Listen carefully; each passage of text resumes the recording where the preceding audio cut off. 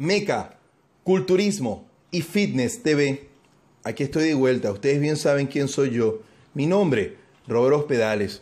Lo llaman el culturista Mr. Olimpia menos impresionante de toda la historia. Pero ¿qué es lo que sucede aquí? La gente repite lo que otros repiten. Y entonces se convierten como en loros. Amigos, falta con ver a Brandon Corey en persona para decir lo contrario.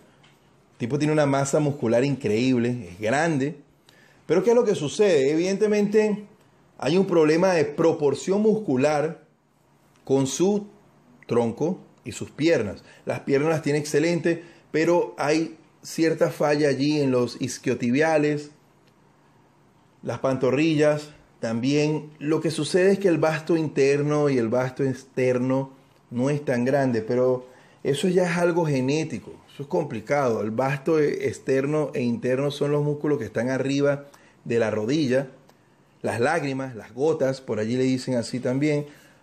Pero tenemos que entender que no es fácil ser Mister Olimpia. En 55 años de evento que se han celebrado todos estos Mister Olimpia, desde el 65 hasta hoy en día, solo hemos tenido 15 Mister Olimpia. Este es el culturista número 15 que ha ganado ese título.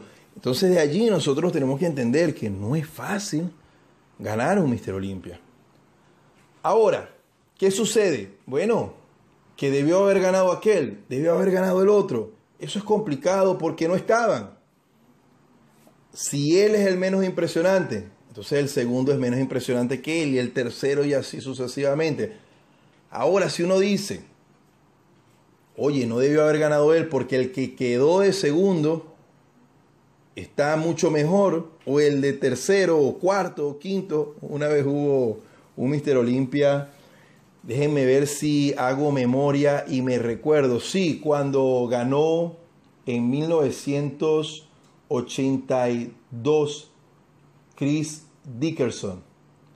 Allí, bueno, se dice que personas que quedaron hasta más allá del tercer lugar debieron haber ganado. Chris Dickerson también es un culturista, la cual muchas personas dicen que no tiene nada, la cual uno pueda decir, me impresiona el físico de esa persona. Pero, amigos, así es el culturismo. Así es esta competencia. No tenía otro que pudiese derrotarlo. Simplemente es así. Y ganó. Ahora, ahí está la casilla de comentarios para que den su opinión sobre Brandon Corey. ¿Qué les gusta, qué no les gusta? Sin irnos a lo que es su personalidad, su físico. Paz y amor.